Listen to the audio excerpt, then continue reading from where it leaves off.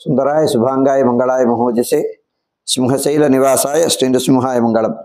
శ్రీ శ్రీ శ్రీ వరాహలక్ష్మి నృసింహస్వామివారి సన్నిధానంలో చైత్రశుద్ధ దశమి గురువారం ఏప్రిల్ పద్దెనిమిదవ తారీఖు ఆశ్లేష నక్షత్రం. ఈనాటి నుంచి స్వామివారి ప్రాతివర్షిక కళ్యాణ మహోత్సవాలు ఆరంభమవుతున్నాయి. ఈ సందర్భంగా తెల్లవారుజాముని నాలుగు గంటలకు సుప్రభాతం. అనంతరం ప్రాతరారాధనం. ప్రాతరారాధనలో భాగంగా నిత్యవేద పారాయణం ఉపనిషత్ పారాయణం దివ్య ప్రబంధ సేవాకాలం. అనంతరం ధూపసేవ ధూపసేవా సమయంలో చతుర్వేద పారాయణం శ్రీరామాయణం భారతం భాగవతం విష్ణు పురాణం క్షేత్ర మహాత్మ్యం వరాహపురాణం శ్రీభాష్యం భగవద్ విషయం మొదలైన గ్రంథాలని పారాయణం చేయడానికి ఉపక్రమిస్తారు. అనంతరం బాలభోగ నివేదనం. అయిన తర్వాత నిత్యహోమం బలిహరణం. అయిన తర్వాత మంగళాశాస్త్రం జాతమర గోష్ఠి తీర్థ వినియోగం అయిన తర్వాత చుట్టూ సన్నిధుల్లో మంగళాశాస్త్రం పూర్తి చేసుకున్న తర్వాత సుమారు ఆరున్నర గంటల నుంచి సర్వదర్శనం ఆరంభమవుతుంది. ఇవాటి నుంచి ఇరవై ఆరవ తారీఖు వరకు ఆర్జిత సేవలన్నీ రద్దు చేయబడతాయి. స్వామివారి ప్రాతివర్షిక కళ్యాణ మహోత్సవాల సందర్భంగా ప్రత్యేక ఉత్సవాలను పురస్కరించుకొని దీన్ని గమనించవలసిందిగా మనవి చేస్తున్నాను. పదకొండున్నర గంటలకు రాజభోగం మహానివేదనం ఈ సందర్భంగా పదకొండున్నర గంటల నుంచి పన్నెండు గంటల వరకు దర్శనములు నిలుపుదల చేయడం జరుగుతుంది.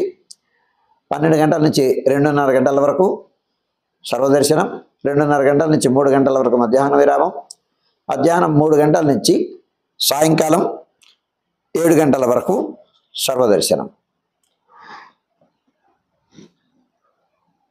రాత్రి ఏడు గంటల నుంచి ఏడు గంటల తర్వాత భక్తుల యొక్క దర్శనములు నిలుపుదల చేయడం జరుగుతుంది.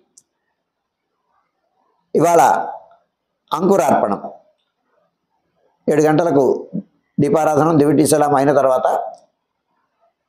విశ్వక్సేనారాధనం పుణ్యాహవచనం అలాగే ఋత్విగ్వరణం ఉత్సవాంగీకారం అయిన తర్వాత చక్రనారాయణ స్వామిని వేయించేసుకొని గ్రామ గ్రామ ప్రదక్షిణ పూర్వకంగా మృత్సంగ్రహణ మంటపానికి వేయించేస్తారు అక్కడ విశ్వక్సేనారాధనం పుణ్యాహవచనం ఉత్సంగ్రహణం పూర్తి చేసుకొని మళ్ళీ ఆలయ ప్రదక్షిణ పూర్వకంగా యాగశాలలోకి ప్రవేశిస్తారు. యాగశాలలోకి ప్రవేశించిన తర్వాత అక్కడ యాగశాలార్చనం అంకురార్పణం అలాగే గరుడ పట ఆవాహనం అధివాసం ఈ కార్యక్రమాలన్నీ జరుగుతాయి. ఇవన్నీ అయిన తర్వాత సుమారు రాత్రి పది పదిన్నర గంటల ప్రాంతంలో ఆరాధన పూర్తి చేసుకుని నివేదనం మంగళాశాస్త్రం తీర్థ వినియోగం అయిన తర్వాత పవళింపు ఏకాంత సేవతో ఈనాటి కార్యక్రమం సుసంపన్నమవుతుంది.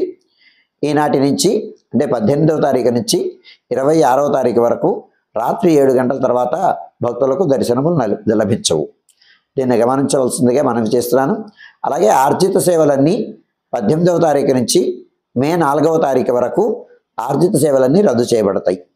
దీనిని గమనించవలసిందిగా మనవి చేస్తున్నాను.